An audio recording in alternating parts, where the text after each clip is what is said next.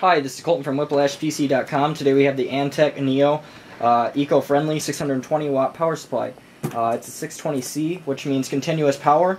Uh, eco-friendly because it does not include a power cord. If you're buying this power supply, you better have a power cord ready or you might be upset when you get everything except for your power cord.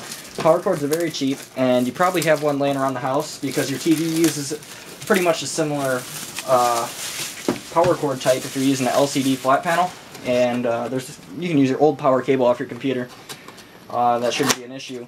You might want to check and make sure it's capable so you don't fry your power cable. I've done that before and it sends a spark through your computer and it's not a fun thing. I'm not lying. That did happen. And uh, something I don't want to relive. But uh, as you can see, yeah, the power rating on this, on the 12 volt rail, is 48 amps. On 620 watt power supply, that's actually pretty good. It's got a quiet 120 millimeter fan, so we're going to go ahead and open it up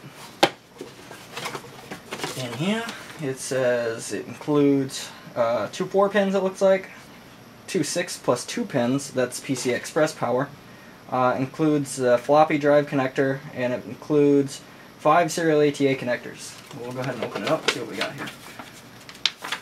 Uh, it just goes in in different languages than that.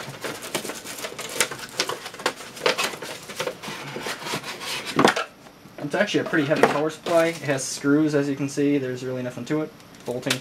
Take this out here, put this up here. Antec is known for having very high quality power supplies. I've never heard any complaints about Antec really, from what I know of. They use high quality components inside all their parts, and they have very nice products usually. This one looks also very nice for being eco-friendly. It has a nice paint job. It's completely silver. I don't know if you guys can see it very well. It's not like a silver that comes out of an old machine. It's just like an antique silver, which looks very nice. On the side it says Neo Echo Eco, but uh, 620 continuous power. It shows the ratings. You can zoom up on that so you can see the ratings and you can pause it there if you want to later and see what you have. But the main thing that most people want to know is uh, what's the 12 volt rail, and that is 48 amps on this power supply. On down here you see the Antec 120 millimeter fan. It's a pretty heavy power supply for a power supply wise. It's about 6 to 7 pounds I would probably say maybe more, maybe less. I'm not weighing these things on a scale, I'm going by hand, so it could be more or less, but it feels about hmm, 5 to 7 pounds, somewhere in that range. As you can see, we have the Molexes, and we have the SATA connectors. Um, where's the 24 pin on here? There's one, or, here it is, the 24 pin connection. And as I said, um, you can look online, but from what I know, is what I see here, and it says it includes a 24 pin, it includes a 4 plus 4 pin, which is the 8 pin, includes two PCI Express X16 or X16 capable power supply or graphics cards. I can't talk tonight. But um, as you can see, if you want to check it out, you can go to the site. It's the Antec Neo 620 watt continuous power supply. It's a pretty high quality power supply from the feel of it. I'll run it around and I'll post in the description below on how it runs and if I have any cons with it, so be sure to check that out. Alright, here's the power supply. It's very quiet. I'm going to go around to the back of it. As you can see, it does have a little bit of air coming through. You can probably hear it.